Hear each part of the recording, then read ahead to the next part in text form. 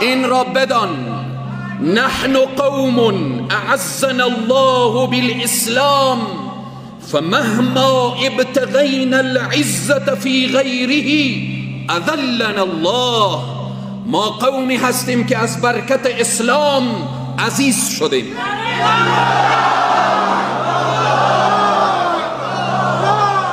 غیر از اسلام دیگه هر چیزی را طلب بکنیم زلیل میشیم. عزت ما عظمت ما بزرگی ما شهامت و شجاعت ما در اسلام هست.